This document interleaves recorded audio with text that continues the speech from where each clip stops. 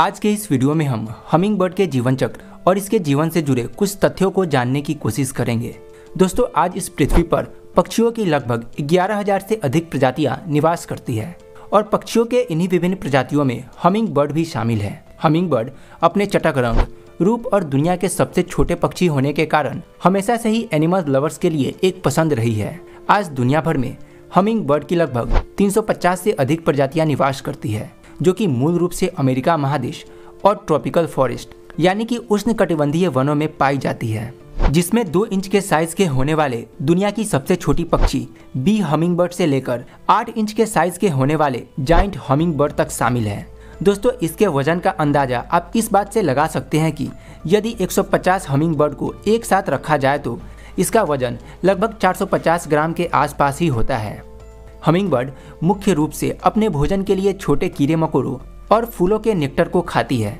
दोस्तों, आपको जानकर हैरानी होगी कि एक हमिंग बर्ड का दिल एक मिनट में लगभग 1260 बार धड़कता है। वहीं इसकी विंग्स बीट यानी कि पंख, एक मिनट में लगभग 1000 बार तक फरफराती है। हमिंग बर्ड का शरीर काफ़ी तेज़ी से कैलोरी बर्न करता है और यही कारण है कि हमिंग बर्ड हर 10 से 15 मिनट पर खाना खाती है और एक दिन में लगभग 2000 फूलों के नेक्टर को पीती है। दोस्तों, आपको एक बात और बता दें कि हमिंग बर्ड चारों डायरेक्शन में उड़ सकती है और किसी फूलों के नेक्टर को पीने के लिए इसे बैठने की ज़रूरत नहीं पड़ती है।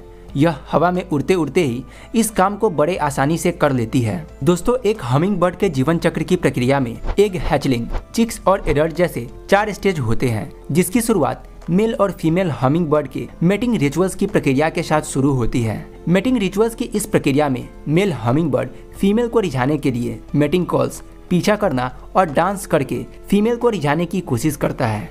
और जब मेल को फीमेल हमिंग बर्ड की सहमति मिल जाती है, तब इन दोनों की मिलन की प्रक्रिया शुरू होती है। इन दोनों के मिलन चक्र की प्रक्रिया में लगभग तीन सेकंड से पाँच सेकंड का ही समय लगता है। मिलन के इस प्रक्रिया के समाप्त होने के बाद फीमेल के शरीर में अंडे विकसित होना शुरू हो जाते हैं। जब मादा के शरीर में अंडे विकसित होना शुरू हो जाते हैं, उस दौरान फीमेल हमिंग बर्ड अंडे देने के लिए घोसला बनाना शुरू करती है। यह घोसला किसी तिनके और पत्तियों के बने होने के बजाय मकड़ियों के जालों से बनाए जाते हैं। और आपको जानकर हैरानी होगी कि हमिंग बर्ड का यह घोसला साइज़ में डेढ़ इंच से थोड़ा ही बड़ा होता है। घोसले के निर्माण की यह प्रक्रिया समाप्त होने के बाद हमिंग बर्ड घोसले में दो अंडे देती है। इन अंडों में अब बच्चों को विकसित होने में 14 से 18 दिनों का समय लग जाता है। जिसके बाद यह बच्चे अंडों को तोड़कर अपने लाइफ साइकिल के दूसरे चरण, यानी कि हैचलिंग स्टेज में पहुँच जाते हैं। हैचलिंग स्टेज में यह बच्चे कोमल होते हैं। इनके आँख और कान अभी बंद होते हैं, वहीं शरीर पर अभी पंख नहीं होते हैं। जन्म लेने के बाद इन बच्चों की देखरेख माँ द्वारा की जाती है और भोजन के रूप में इसे आसानी से पचने वाले चीज़ों को खिलाया जाता है। हैचलिंग स्टेज में लगभग चार से पाँच दिन रहने के बाद यह अपने लाइफ साइकिल के तीसरे चरण, यानी कि चिक्स स्टेज में पहुँच जाते हैं। इस स्टेज में यह थोड़े विकसित हो चुके होते हैं। अब इन बच्चों के आँख और कान पूरी तरह खुल चुके होते हैं। इनके शरीर पर फीदर्स यानी कि फर उगना शुरू हो चुके होते हैं। वहीं नन्हे बच्चे अपने पैरों पर अब खड़े होने लगते हैं। लेकिन अभी भी यह बच्चे भोजन और गर्मी प्राप्त करने के लिए अपने माँ पर ही निर्भर होते हैं। इस स्टेज में इन बच्चों का काम बस भोजन कर जल्दी से विकसित होना होता है। चिक्स स्टेज में यह बच्चे पूरी तरह विकसित होकर एक एडल्ट हमिंग बर्ड के समान ही दिखाई देते हैं।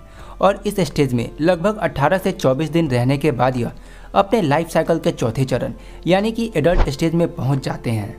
अब यह बच्चे पूरी तरह विकसित हो चुके होते हैं।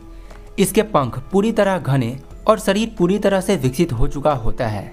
लेकिन अभी भी यह बच्चे अपने घोंसले को छोड़कर नहीं जा सकते, क्योंकि यह अभी भी उड़ान भरना सीख रहे होते हैं और घोंसले से बाहर जाने के माहौल में खुद को ढाल रहे होते हैं। और लगभग 28 दिनों के बाद यह घोंसले को छोड़ पूरी तरह स्वतंत्र हो जाती है। अब यह अपना भोजन खुद तलाशती है और प्रत्येक दिन लगभग 2000 फूलों के नेक्टर को भोजन के रूप में ग्रहण करती है।